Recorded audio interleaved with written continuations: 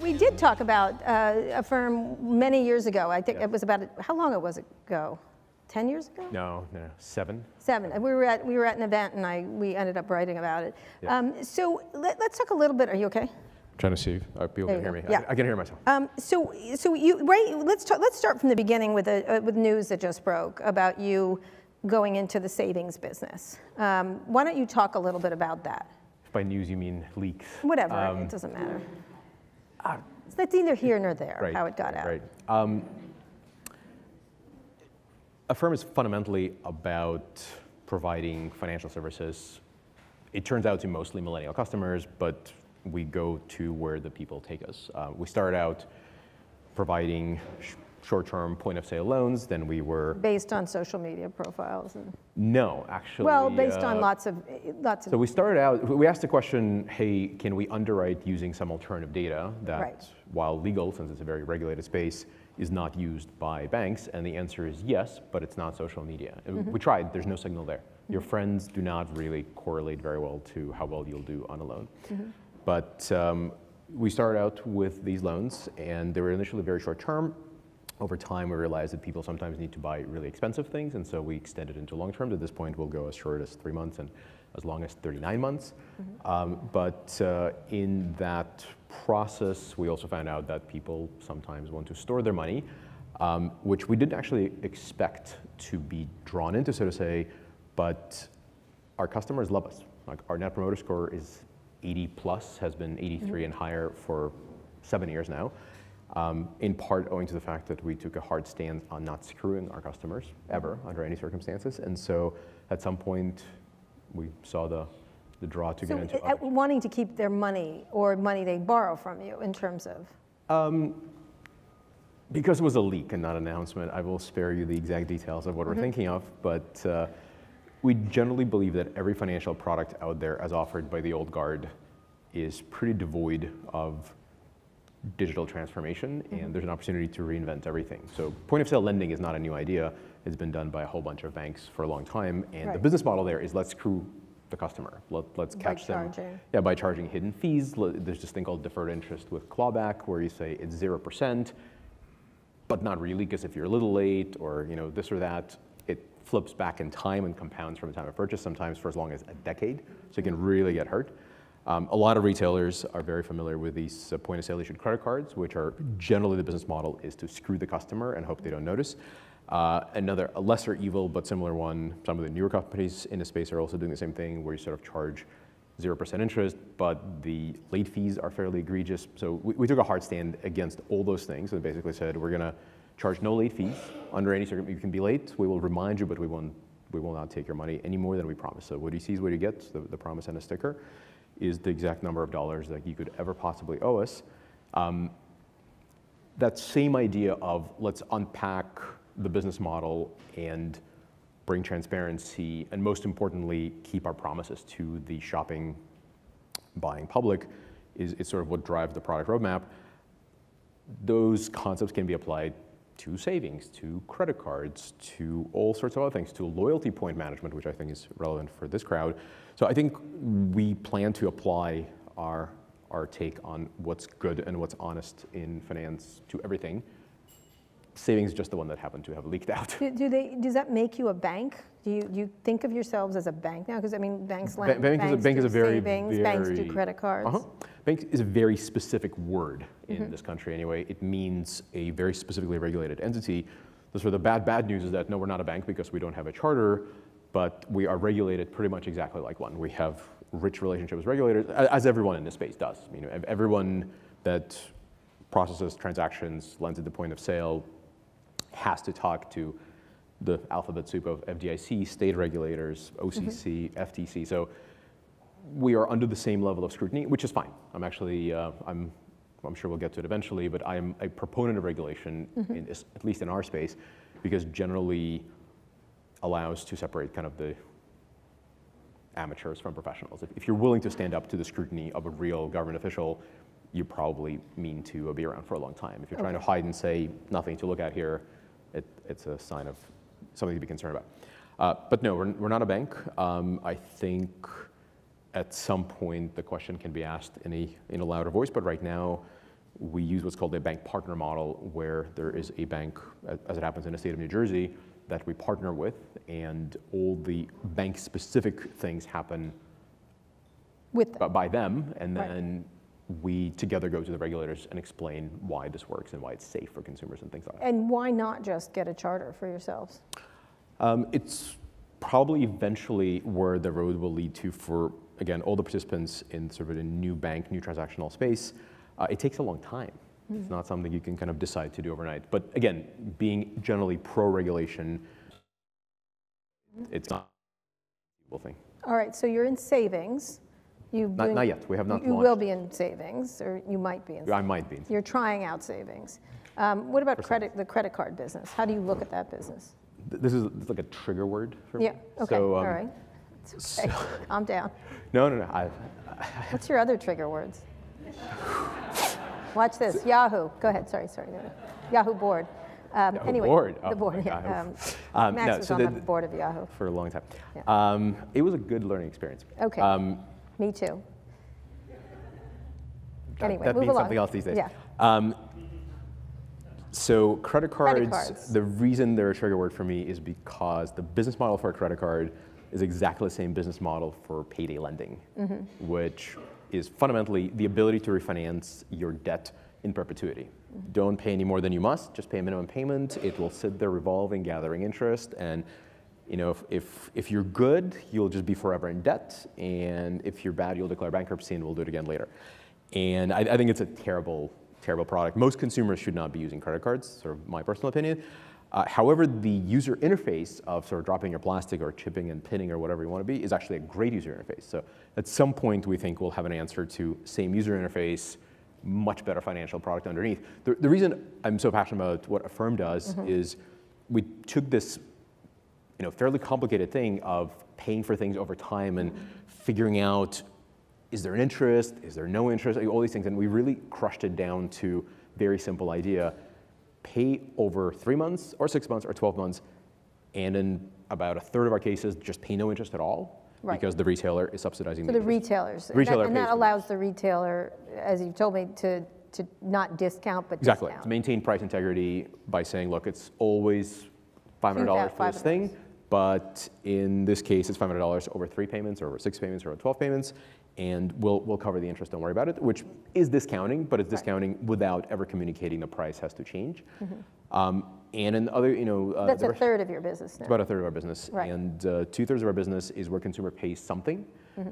But um, as a technology company, what we do is we figure out exactly what is the right match between the amount the consumer will pay and the merchant can, uh, can subsidize so to make sure the transaction actually happens. So we, we see ourselves fundamentally as a marketing tool, conversion enhancement tool for the retailers. And we've done unbelievably well there. Our typical AOV increase is about 2x. Typical uh, transaction conversion rate is like 30 to 40% depending on the industry. So I think the number one reason, number, number one word our customers use when they speak to what makes Affirm a firm, say, it is so simple. I have this sense of control. Mm-hmm. Control is this amazing word. Right, But what, when you, when you deal with retailers, since retailers really are your business versus, because of these no fees promises, what is the, what would be a, an argument why they should stop using credit cards and stop using that? Because it's- that's it's- how people buy. It's too early. Oh, no, no, I, I don't- I don't think, I'm not here to, to tell anyone stop using X or Y. I, I think that's a fundamentally consumer choice thing, and retailers of all companies know better than, Mm-hmm. you know, to, to tell consumers what to do. They're- They're in the, ser- in the business of enabling consumers to do what they want to do. I think credit cards as they exist today, the user interface is fantastic. The underlying financial product is borderline toxic. Mm-hmm. I think Affirm product, Affirm loan is a near perfect financial product because once you see here's the loan, here's the schedule, here's how long it's going to take, nothing changes. If you're late, if something happened to you, if you know dog ate your homework or you had a medical emergency, we will not take advantage of it. Like the, our whole business is built in this idea of we will stick to our promise even if something happens to you, which is what, where we get our very high NPS from, that product can be built into a piece of plastic. It just takes a lot more work and a lot more technology. And so that, that's where I think the future of payments will go. We plan to show the way, but I think over time, retailers will, will find more and more products that like I just described becoming the dominant thing because millennials are very actively opting out of credit cards. Right. th- those tools will be replaced by something else. I happen to believe that what we've built is the replacement good. So in the opting out against credit cards, talk a little bit about some of the newer products like the Apple Card. Um, how Mm-hmm. That do is you- still a credit card. That's still a credit card. However, actually, I have to give them full props. This is the first credit card that I'm aware of that doesn't charge late fees. Right, Which I think up until now, I used to say two things are true in commerce. There's only one company that doesn't charge late fees, and that's Affirm. And there's only one company where if you say it's 0%, you'll pay no interest, you'll pay no fees. The only one that you can trust is Affirm, where we will not charge you late fees, we will not charge you interest. The first claim is no longer entirely true. If you're good enough to get yourself a Marcus-powered Apple Card, you too can enjoy no late fees, which I think is awesome. I think the fact, and you know, it's a it's a partial solution, as they used to say in math class, where uh, I, I I wasn't in that math class, but go ahead. I, It's a partial solution. Partial meaning- solution, So where um, should they go? Where, where should a company like that go?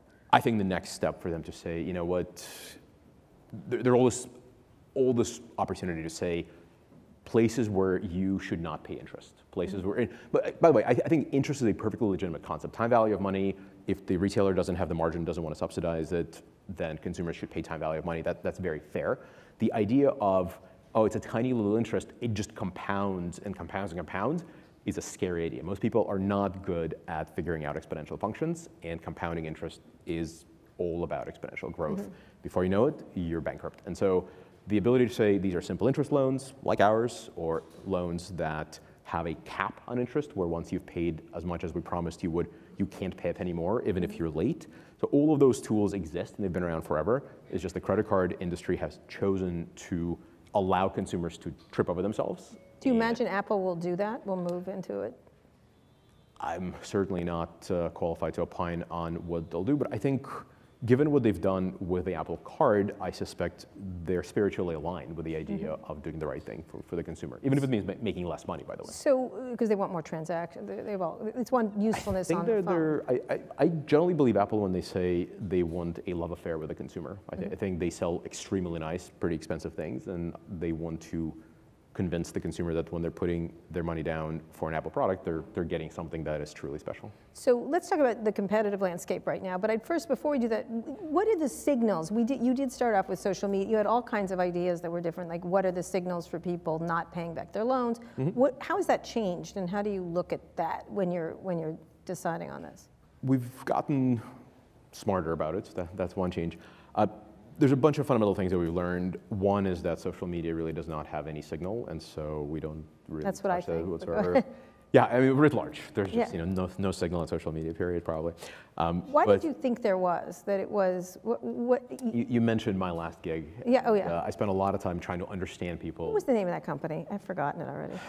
It slid out of It my. had sheep. It had sheep involved. Uh, slide was the name. Slide. That's Yeah. right. Okay.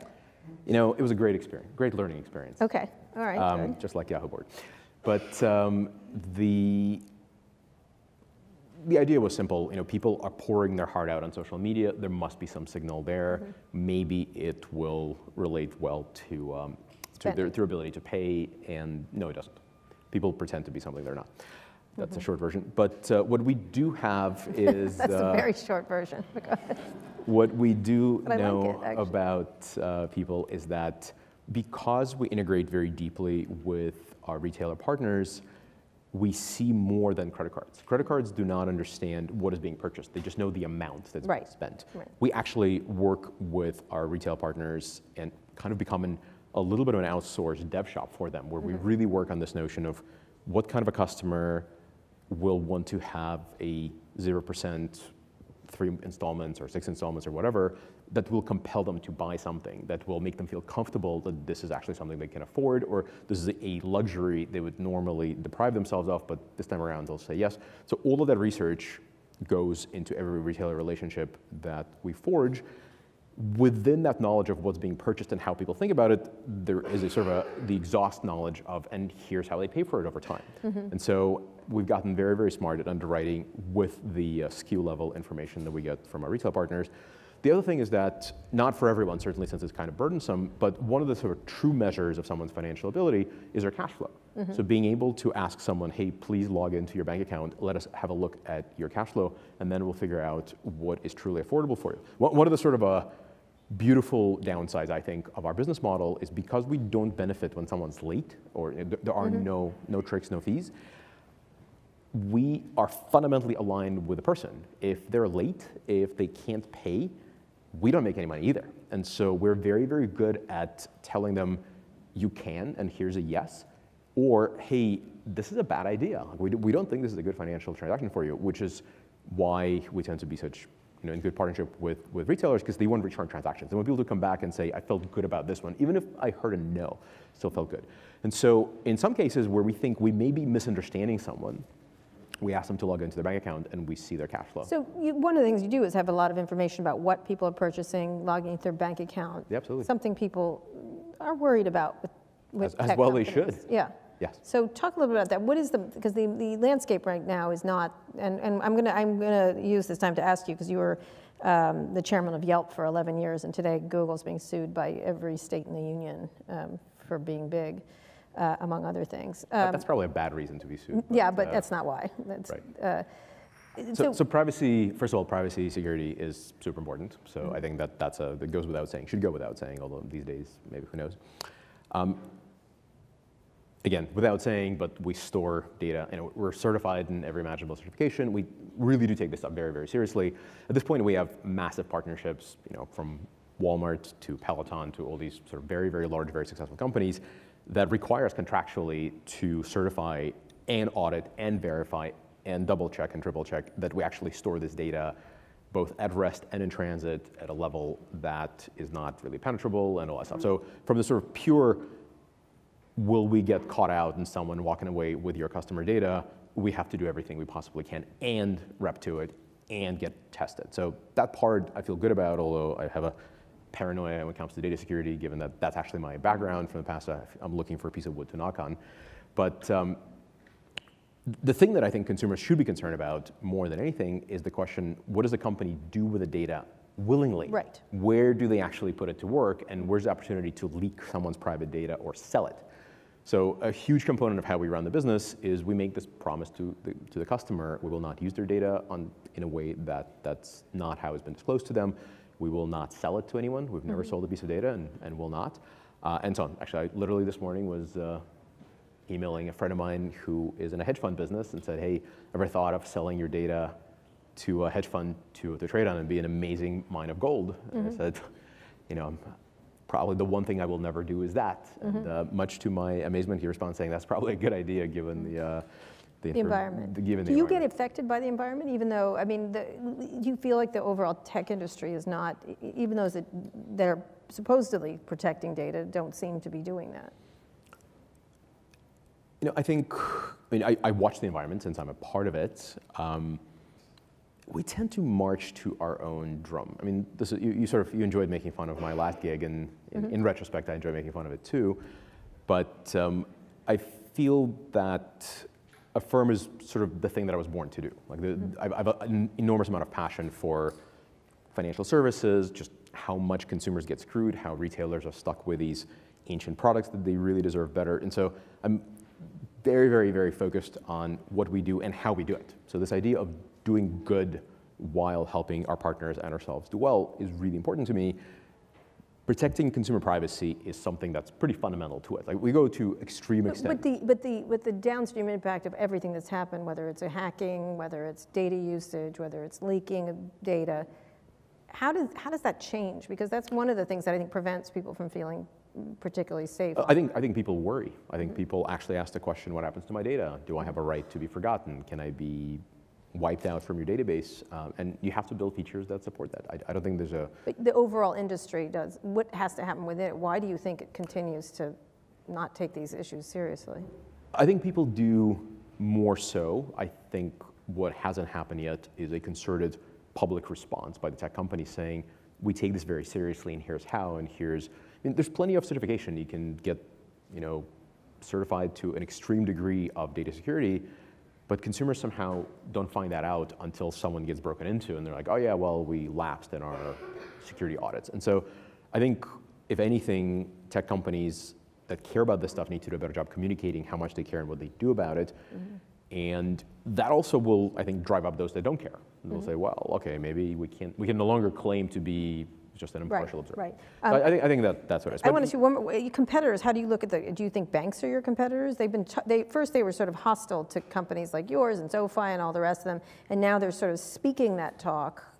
Uh, I think banking ecosystem in the U.S. especially is a vast array of players.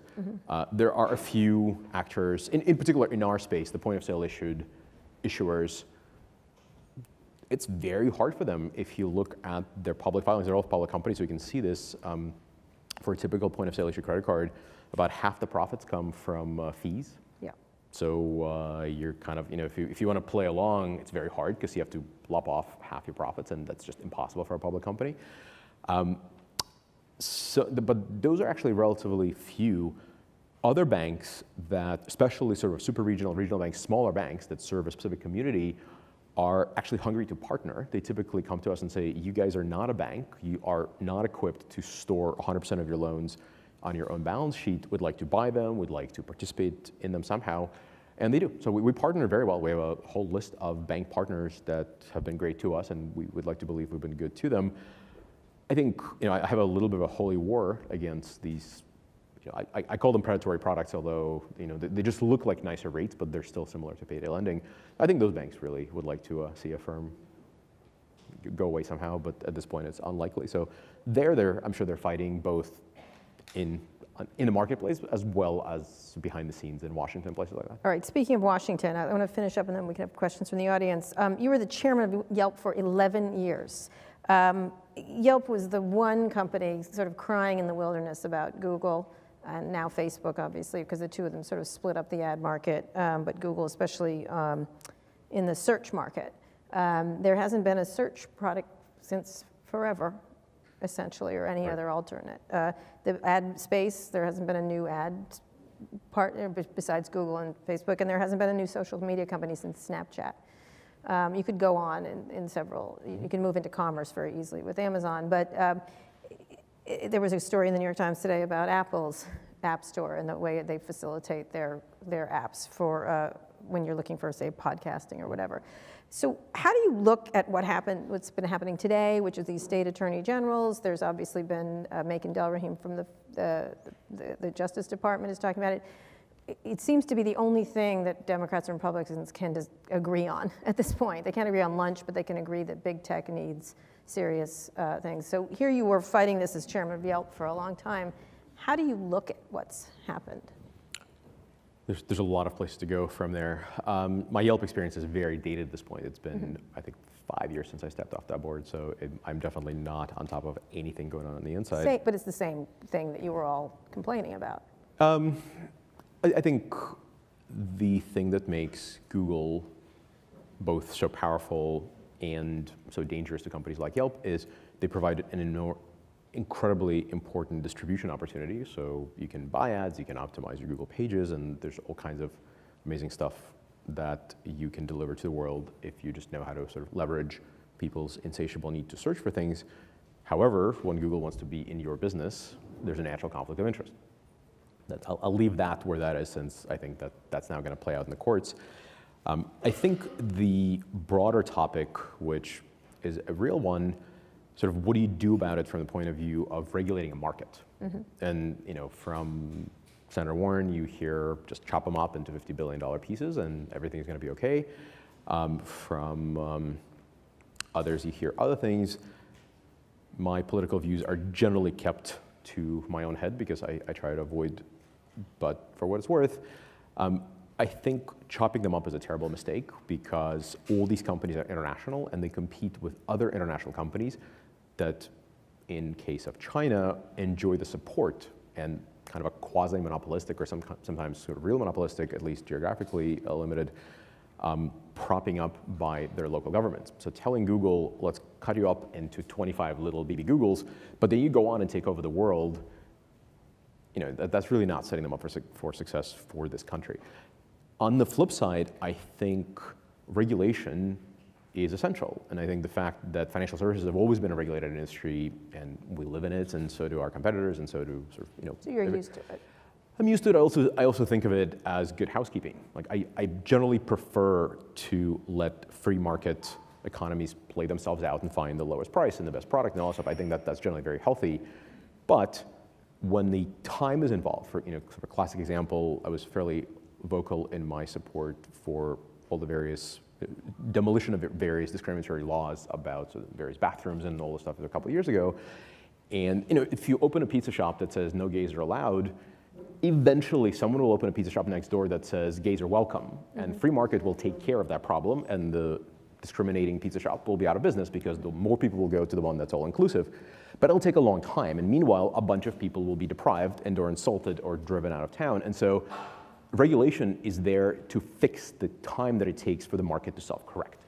So in situations like my little imaginary pizza shop or these really large companies that eventually someone will invent a great way to search. Maybe it'll be brain plugs, maybe it will be... Brain plugs? I don't even want to know. We'll go, we'll talk about that. It'll know what do you want. Okay. You, you don't need to type anything. There's not going to be any brain plug in Kara Swisher's head, but go ahead. You know, no. Uh, I've seen some amazing brain plugs. Okay. But uh, I really have. But um, I think the idea of regulatory normalization of markets where eventually you can see the solution but it's just not forthcoming, is exactly the right thing to do. And so in that sense, I don't know whether it has to be through courts or attorney generals or whatever, but yeah, it, it wouldn't be such a bad thing to have a, a little bit more of a rigid framework of here's what's okay and here's what's not okay, and maybe Yelp wouldn't have to complain. Right, okay, that's a good, reasonable answer. Um, so we have questions, you're very reasonable. Questions from the audience? Questions? Right here. Thanks. Um, I'm curious a little bit more on the privacy question. Like, how do you think about uh, use of data for consumers across different retailers? Right? Both what do you think is right from a policy standpoint, and how do you make clarity to the consumer about what's being done? And then also, you know, not just directly using data, but you talked about, hey, you're building more sophisticated models of what a consumer is going to respond to, right? So, how do you think about privacy in terms of use of data to build those more sophisticated models? I think from, I mean, the good news is that this particular area is reasonably well covered in terms of regulation. So there's a bunch of things that you do or you think in terms of, and most of it can be summed up to do what you said you will do. And so you really cannot mislead or misrepresent lest you want to find yourself fined or put out of business. Um, the way we think about using data is generally to add value in a way that allows us to basically pull in whatever information we have access to and not leak anything out to the retailer. In other words, we can say things like, hey, of these items, we have some idea of which ones might be more interesting to this consumer, but we will not tell you who this consumer is until and unless they choose to go close a transaction. That's sort of a sketch of an example, but in general, you should be able to confine insights that you've gotten from data that could be considered sensitive by someone to where the data was collected. In other words, the ecosystem needs to be reasonably closed, if that makes any sense. Um, I think in general, another great test, and this is sort of a, back to prehistoric times, if somebody were to explain what Affirm does with consumer data on the front page of New York Times, that should either be just fine with me or should be a little bit sort of squirm-inducing. And at the moment, it's just fine with me, and I think that's a really, really good test for any CEO, both retail, financial services. If somebody said, "Here's what they do," once they know who you are or what you did, like that's that, that's a that's a pretty good way of just designing systems, I think. That's really good. Last question, really quick. I'll try to answer quickly too. Okay. Hey, Max. Um, I would love your thoughts on Libra, Facebook's oh, project, Libra. and um, would, yeah, Affirm, right? would Affirm be interested in being a part of the association? Not as bad as Facebook dating, but go ahead. Um, I'm, I'm long out of the dating market, but You're my uh, secret crush, Max. I'm teasing, you're not. feeling is mutual. um, I, I, I, aspire to, uh, to be called reasonable by you. That, that's okay, all I really okay. need. Right, Um, okay. So very quickly, Libra. Libra. So generally, I think it's a good development in a sense that its sort of first act is clearly aimed at providing sort of run for the money to those that do cross-border tra- um, remittances. Yeah. And that is an obscenely overpriced, undervalue adding system. If you sort of look at, you know, I have relatives um, the old country, so to say, and uh, sending the money is between 7 and 9% of the value while the transaction is done over the public internet. So that, that should tell you everything you want to know. Running it on the blockchain, that's a really great tool to uh, recruit engineers. I'm not sure that was strictly necessary, but that's sort of, you know, that, that's for the designers of, uh, and actually, I, I think the, the blockchain inclusion of, in, in this project was all about saying, hey, even though we're Facebook and you may have your concerns, it's fine. It's all out in the public eye. So I think that actually that, that may have been what that was all about. But generally, I'm, I'm pretty bullish on the remittances part of it. I think the long-term play of Libra is another way to shop, which is sort of, you know, we're embedded in every wallet and you can transact in this sort of a new currency, is fascinating. And this would take another half an hour to sort of debate, you know, do you need to build up enough balances before you have retailers caring about this new currency, or do you need to just get a bunch of retailers to say, let us offer you special incentives to shop using Libra because we bought into it? Um, don't know, but it, it's the right kind of experiment to run. I think that that's another sort of, you know, it, obviously there the, uh, the sort of target competitor is Visa and MasterCard, and it's a fascinating conversation to, uh, to, to have. Um, Affirm is not a part of the Libra Association, so uh, I have nothing Do you to. want to be? they have like I 80. suspect- They have like 80 spots open. I so- suspect he was asked. That's what I think he just said. Um, no, actually, on the record, I was not asked. Um, but um, I think if David Marcus were to call me up and said, "Hey, um, you should be a part of this thing," I would definitely not hang up the phone. I think it's a. I, I'm, I'm a generally a big sort of a techno-utopian bull. I believe that with the right regulation and the right technology, you can build good things, and you don't have to be embarrassed by the fact that you're building stuff, so long as you're willing to read about how you're doing it on the front page of the New York Times. Um, and I think this is another step in generally the right direction. I'm sure there are ways to screw it up and do it wrong.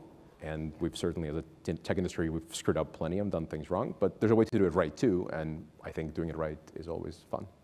Oh, he's so hopeful. I like that. Anyway, thank you so much, Max Levchin.